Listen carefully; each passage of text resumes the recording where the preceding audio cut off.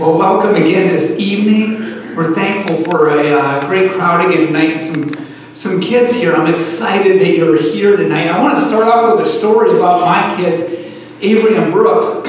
excuse me. When they were about this age right here, probably about six and nine, five and eight, uh, they were having a race. All right, they're getting out of the grocery store, and they decided to have this race to the car. And they did this a lot they love to, to race and compete with one another. How many of you guys have ever done that? Had a race with your sibling? Yes. Well, my son Brooks, who was probably six at the time, he made it to the car first. All right? But Avery, my daughter, got her seatbelt on first. All right? So who's the winner there? They're going back and forth, back and forth. I won, no, I won. I'm the winner. And then they finally try to get me in this. All right? I'm the, I'm the referee in this uh, this debate. And I said, no, I'm not getting into this. All right. And so they're going back and forth. Dad, who won? All right. And I said, it doesn't matter. This is ridiculous. This is a ridiculous argument. It doesn't matter. And uh, it didn't suffice. And so they kept arguing. I finally said, just say, just say the words. It doesn't matter. They could not say it doesn't matter. Could not say it. And I finally said, because it just kept on going, I finally said, all right, unless you say it doesn't matter, you both lose. Silence. Silence. Finally, my son Brooks goes, uh, it doesn't matter. And then Avery, she didn't want to lose either, so she said, it doesn't matter. And I kid you not, the next words out of my son's mouth were these I said it first. Argument started all over again. Well, I like to think that those races don't matter, but really, sometimes they, they do matter. God put a competitive spirit inside of each one of us for a reason. And we can use that competitive spirit for good or for evil for God's glory or for our glory.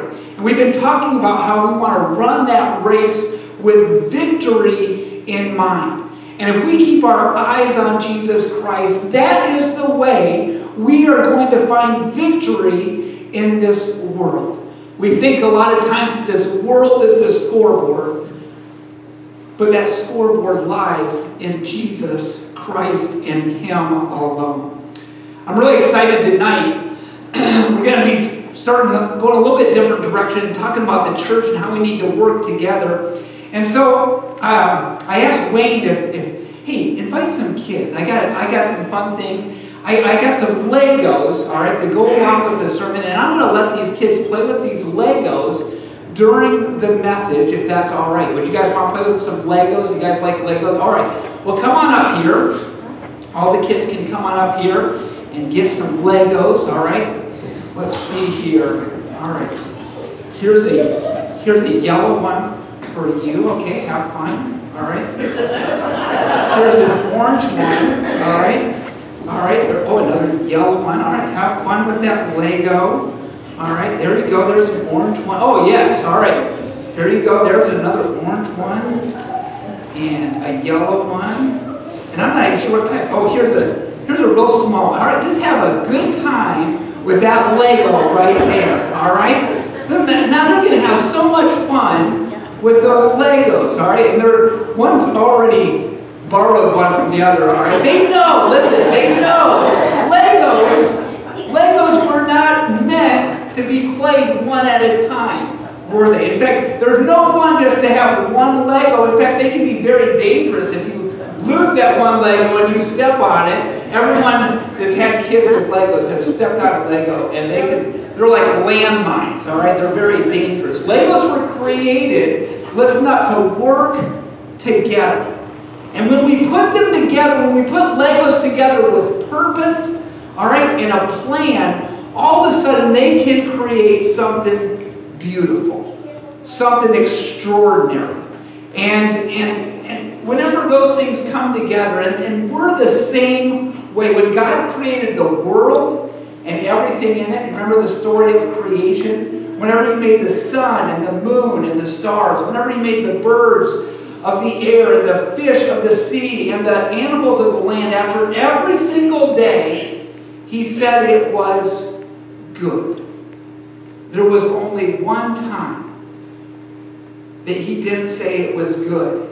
In Genesis 2.18, it said the Lord God said, It is not good for man to be alone. When he created man, he said there's something missing. There is something missing. The truth is this, that we were made for community. We were made for one another. Now, I am not that mean that I would just give each kid one Lego here, all right? And so I got, I, I do want you to come play with Legos, so come on up here, and you guys can actually get a bag of Legos. That sound good? All right? And I want you guys to create something really special during the message, all right? So people can go along with what I'm talking about tonight, too. All right? And thank you, Wayne, for getting that together. Oh, look at this. We got the perfect amount. Good job. All right, so we'll see who can create something special during the, during the message, all right? Now, losing my voice here. I'm not used to preaching every single night here. Christianity, what you know, is both a private discipline and a shared experience. I don't know if you realize that there's 59 times in, in the Bible where it talks about the one another commands. 59 times. In Mark 9, I won't go through all of them, but it says to be at peace with one another. In John 13, it says love one another. In Galatians 5, it says serve one another in love. In Galatians 6, it says carry one another's burdens. In James, it says pray for one another. In Romans, it tells us to be devoted to one another in brotherly love. In Romans 12, it says honor one another above yourselves. In Hebrews, it says, encourage one another daily. In Ephesians 4, it says, be kind and compassionate to one another. In Ephesians 4, it says, forgive one another. In Romans 15, it says, accept one another then just as Christ accepted you. And in 1 Corinthians 16, it tells us to greet one another with a holy kiss. Maybe that was a cultural thing at the time. I know that I didn't grow up kissing everyone going to church. But if you would go out, I married an Italian woman from New Jersey. And it was very cultural in their family to kiss one another. And so whenever I went out there to meet her family for the first time, everyone was kissing one another. And I didn't think it was too bad. She had some good-looking sisters and cousins. That wasn't too bad, all right? But then I realized that I had to kiss her dad. And I thought, oh man, I don't know about this kissing one another thing. There is no doubt in God's kingdom, though, that we are to do life together, unified by love.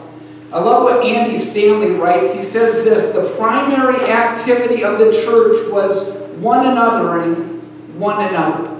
There isn't a lone ranger in the kingdom of God, or at least there should not be. One anothering one another is something that we should be doing daily and living out. Christianity is absolutely a team sport. Following Christ is a team sport. Jesus knew the principle of synergy. The whole is greater than the sum of its parts. And together, everyone achieves more. We are at our best whenever we're working together. Fulfilling the mission of the church is absolutely a team sport. It's not the great mission, we talked about this, it's not the great mission, but rather the co-mission. Together we can go out and make disciples. Together we can teach others all, teach others all of God's commands. Together we can go out and baptize in the name of the Father and the Son and the Holy Spirit. Want you to know that the church is God's plan A for reaching a lost and dying world. And there really is no plan B. We are his plan to reach this lost and dying world. And it's the only way that we will find victory. Finding victory in Christ Jesus is a team sport. I mean, you can do this Christianity thing on your own. You can follow Christ on your own, but you're really going to have to gloss over much of the New Testament. 59 times again. It says in the New Testament, in one way or another, to love one another, to be kind to one another, to serve one another. We should absolutely have a personal relationship with Jesus Christ, but following him will lead us to one another 100% of the time. And not only to one another, but to others in this world. And I can see, I can see in my mind how it'd be so much simpler to practice my faith on my own in my own little bubble with the people that I know, the people that I'm comfortable with, our so-called holy huddle. It's just safer, it's easier, it's less stressful. It's just not what I see in Scripture telling us to do or how to live. In fact, if I look through the Scripture, it's, it's the exact opposite. Now, I love the game of football. I imagine some of you enjoy football as well. Sometimes watching the Hawkeyes or the Cyclones is not the easiest thing to do. But I can imagine if Jesus was the quarterback, Iowa would absolutely love Jesus as a quarterback after the past few years. I can imagine Jesus getting us all together in the huddle. And he's calling the play. He's like, all right, boys, here's what we're going to run. I want you to go across the middle. I want you to go deep and big guys up front, give me some time because we're scoring on this play. All right? Ready? Break. And everyone just stays there, silent, and they're like, boy, uh, Jesus, um, boy, that play sounds kind of risky, doesn't it? Did, he, did you see that guy that I had to block last night? He's a big boy. He was kind of not so nice to me. He was calling me names, and, and I don't really want to go out there and do that. And, and yeah, I don't want to go across the middle. Last time I did that, man, I got hurt. That was painful. I'm not going across the middle again. And, and yeah, I'm not going deep. Man, I'm, I'm pretty tired. You know, it's been a, it's been a long game. I, I think I'm just going to, I'm going to sit this one, this one out. And, and they're like, Jesus, how about this? How about we just stay in the huddle and we'll just talk about what it would look like if we ran that play. It sounds like a good play, but we'll just talk about what that would, what that would look like. I can't imagine, I can't imagine that Jesus as our captain and our quarterback, that that would fly with him. Because over and over and over again, God tells us that he created us for a purpose. He wants us to get in the game to do good works, to go and make disciples, to be his witnesses, to be his ambassadors. And he tells us that we are all the body, and each one of us has a part in it. It is God's plan for your life. And why? Because following Christ is a team sport. We need each other. There is power in the body of Christ. We are so much better together. When God's people are unified in one mind and one voice, beautiful things happen. People start to experience God's kingdom here on earth, and that is irresistible. And God's kingdom grows. And today, as we get into this one another command and find victory in one another, keep in mind that these aren't just good suggestions but rather that the church, the body of Christ, suffers whenever we don't follow through with, with our part in this kingdom work. We're going to be looking at Romans 15, 5 through 9. And the background to Paul writing Romans is this. The mid it's the mid-50s AD. The church is about 20 years old at this time. And many scholars believe that there were Romans that were there on the day of Pentecost. All right? They were in Jerusalem on that day of Pentecost. They were part of the 3,000 that were baptized into, Christ, and they were going, they went back to Rome to start the church. And you talk about the first Christian church, there was many there. All right? There, there that day. Paul was planning a trip to Rome when he when he wrote this letter to the church in Rome. And the church had grown significantly. And they were dealing with persecution, but they were also dealing with conflict. Rome was the epicenter of the Mediterranean world and at the height of the Roman Empire. And they had a very ethnically diverse population in Rome of about a million people.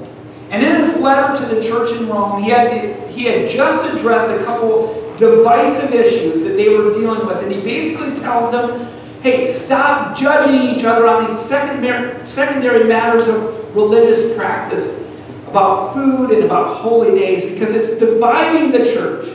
Paul is talking to these committed disciples and he tells them to focus on peace, encouragement, to focus on avoiding these quarrels. And, and you can read all about that in chapter 14. But in Romans 15 5, Paul writes this. He says, May the God who gives endurance and encouragement give you the same attitude of mind toward each other that Christ Jesus had, so that with one mind and one voice you may glorify the God and Father of our Lord Jesus Christ. And he's, he's telling these Roman Christians, he's saying, I get it. I know it's not easy. You're going to need God absolutely in these matters. You're going to need Him to be of one mind and of one voice. It's Him who's going to give you endurance and encouragement. You're going to need it. But remember what we're after here. Remember what we're after here. We're after giving God glory with our lives and doing that together. And here's how you're going to do it. Just remember what Jesus has done for you. Keep your eyes fixed and focused on Him. The author and perfecter of our faith. I should have brought my cross eyes. Be a great illustration right now. And he says this in verse 7. In verse 7 it says this. It says, Accept one another just as then just as Christ accepted you in order to bring praise to God. For I tell you that Christ has become a servant of the Jews on behalf of God's truth, so that the promises made to the patriarchs might be confirmed, and moreover, that the Gentiles might glorify God for his mercy. And if we want to be of one mind and of one voice, if the church is going to function as the body of Christ and we're going to bring glory to God, then we need to absolutely, according to verse 7, accept one another. And I know what you're thinking. I know what you're thinking. And the answer is this yes, even that person. Don't look at them, all right? Don't look at them. Don't look at them.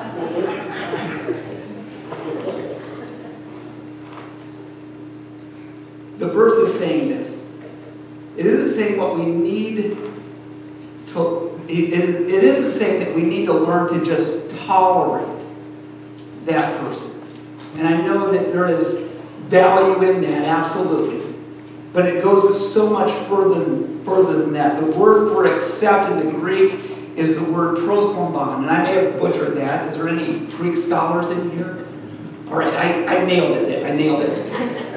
and that proslombon means this to receive wholeheartedly to warmly welcome to yourself, or to grant admission into your heart, to look beyond anything supervision, superficial, and to be willing to build, to open, and willing and open to build relationships.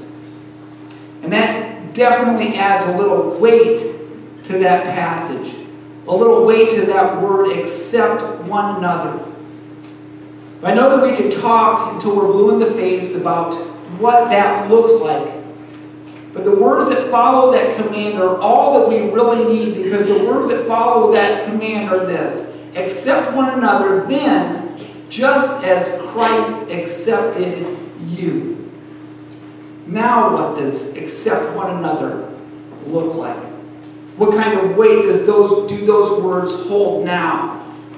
Just as Christ accepted you. And there are so many good examples of Christ's acceptance, but we're going to turn to Luke 5 27 through 32.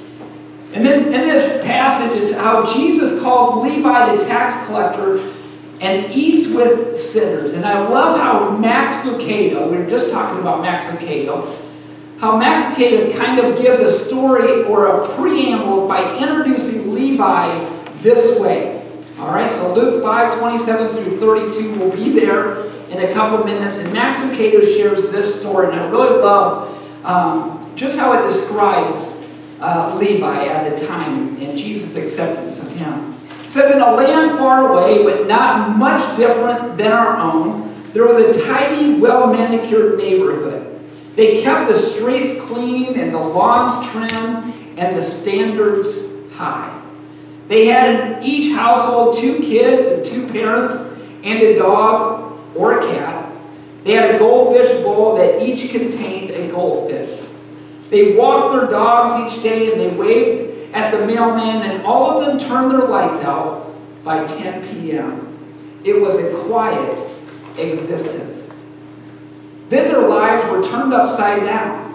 You see, there was a man that bought a house on the corner of Oak and Elm. A man, not a family, not a couple, but a single man named Levi.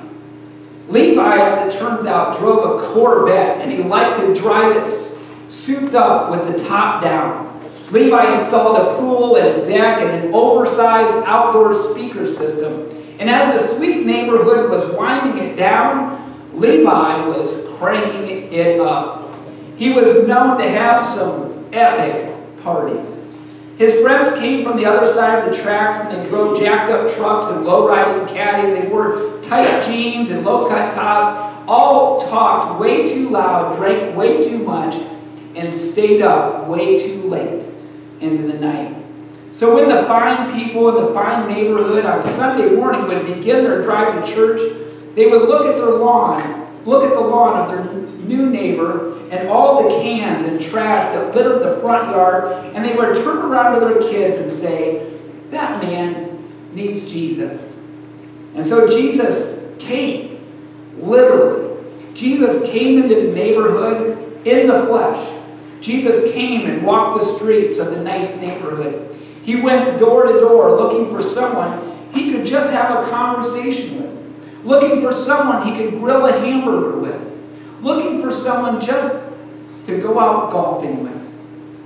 Lucado, um, but everyone was, was busy. They were busy with their curfews, busy with their carpools, busy with their kids. They had a lot of responsibilities. Everyone was too busy for Jesus, except for the man in the house on the corner of Oak and Elm, except for Levi.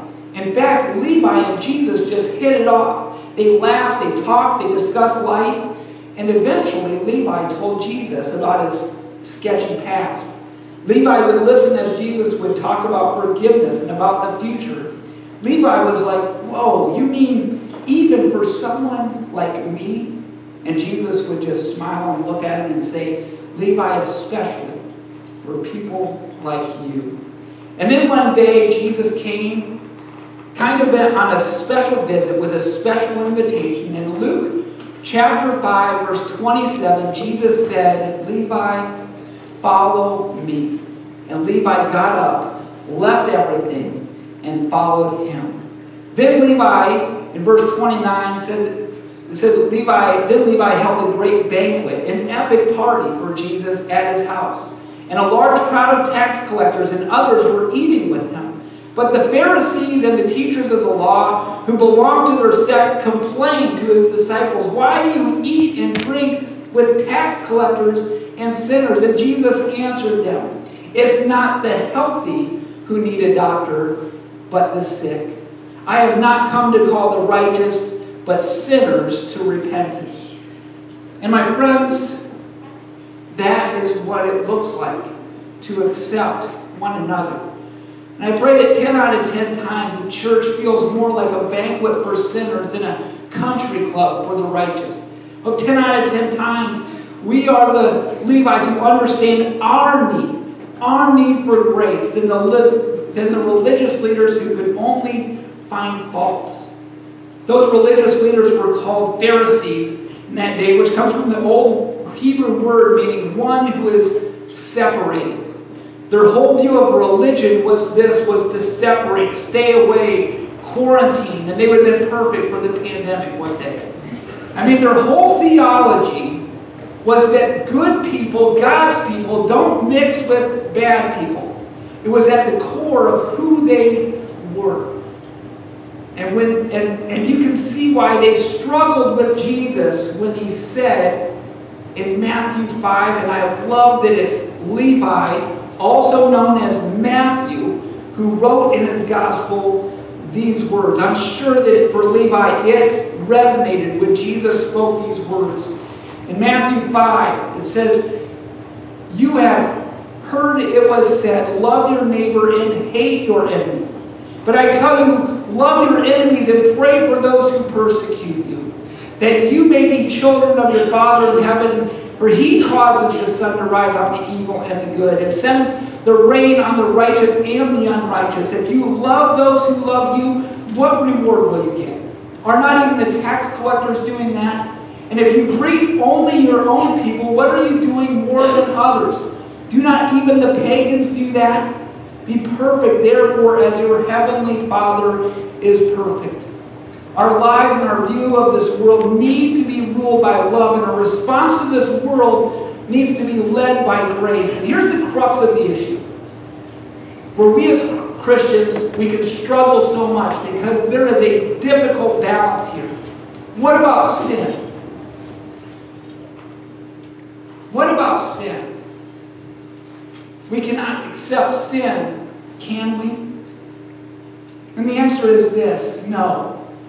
Absolutely not. We must take a stand for the, for the truth and what is right, what God's word said is the best way. But understand this the world and God's kingdom do not have the same standards, the same truths. The world never has operated with the same truths, nor will they ever. So, those whose identity in this world, we cannot expect to live by the truth of God's kingdom. If their identity is in their money, then their theology will be whatever will bring them more money. If their identity, identity is in their occupation, then their theology will be whatever helps them climb that ladder of success. If their identity is in their politics, then their theology will be whatever can win them at the polls. Their identity is in their sexuality, then their theology will be whatever brings them satisfaction. And whatever the identity crisis this world is dealing with, in the end, they're all futile pursuits. And the results will always be hopelessness and conflict. And the answer to hopelessness and conflict is God's amazing grace. The answer is Jesus. The answer was Jesus. The answer is Jesus. And the answer will always be Jesus. And if our identity is in Jesus Christ, then our theology is, should be all about bringing Him glory and Him honor. God desires for unity to happen amongst his people, his children. He desires love and acceptance, which always begins with grace and is always followed up by truth. We should absolutely value both grace and truth. All grace and no truth, well, that deceives. It would be ridiculous to say, no worries, everyone can have their own truth. It will be fine. Jesus loves everyone. No, he says, I am the way and the truth and the life, and no one will come to the Father except through me. But all truth and no grace destroys. If we leave out grace, we have missed the whole point. It's the whole message of the gospel. It's the whole reason that Jesus came.